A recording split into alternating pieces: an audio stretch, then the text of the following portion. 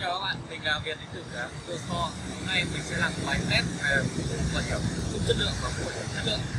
Trên tay bên phải đây là mũ bảo hiểm bộ phần 2 đang à, được sử dụng rất là thịnh hành trên thị trường. Còn đây là mũ bảo hiểm 3 phần 4 được đạt tiêu chuẩn của Thái Lan. Độ ba mấy sau đây mình sẽ thực hiện bài test luôn.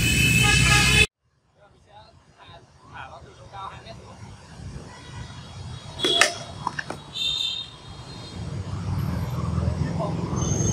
thuyền sẽ dùng lực tay là sẽ đập xuống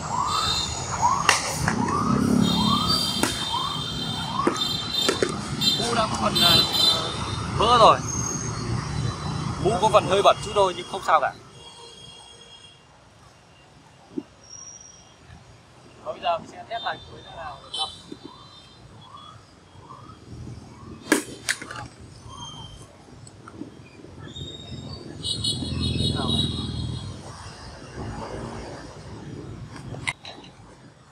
như các bạn có thể thấy là chiếc mũ ờ, không đảm bảo tiêu chuẩn đã vỡ rồi và chiếc mũ 3 phần tư được đảm bảo tiêu chuẩn vẫn còn nguyên vẹn.